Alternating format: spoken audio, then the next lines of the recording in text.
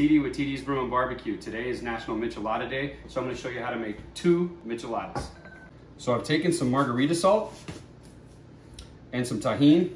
I've mixed it together, and this is what we're gonna rim our glasses with. We're gonna take a lime, we're gonna put it all the way around on the rim of the glass.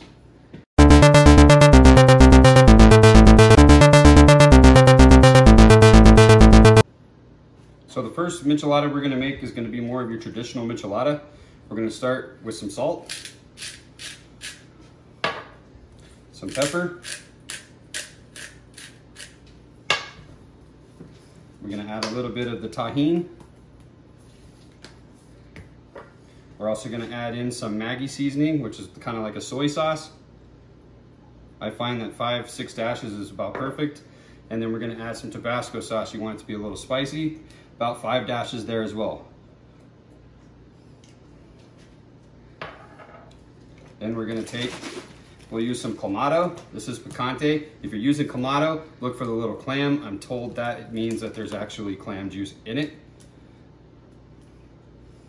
And you put about two, three ounces in there. And then we're gonna add in some Pepe Loco, which is from Santa Fe Brewing Company. Don't need to worry about the mix. It will mix itself up as you pour.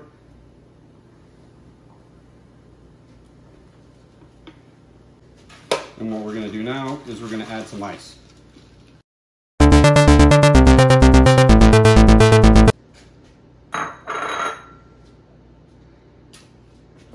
There you go. Salud.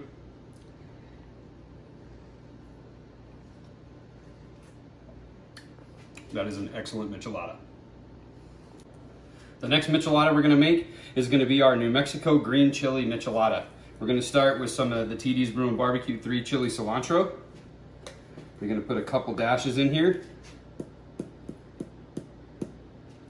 Because we want that real good, authentic Hatch New Mexico green chili flavor. We're gonna use some of our Maggi sauce again.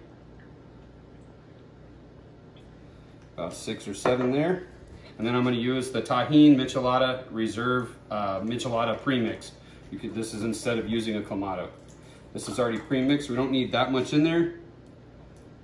We're gonna put about the same amount, about two, three ounces. We're gonna hit it with the Sierra Blanca Green Chili Cerveza. This is gonna be a green chili infused beer. They brew here in New Mexico.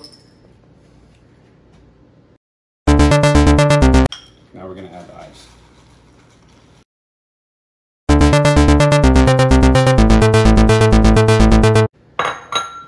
We're gonna top it off with a jalapeno stuffed olive, a pickle, a lime.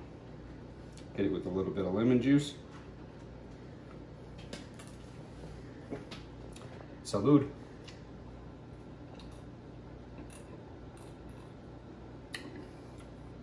That definitely tastes like New Mexico in a bottle.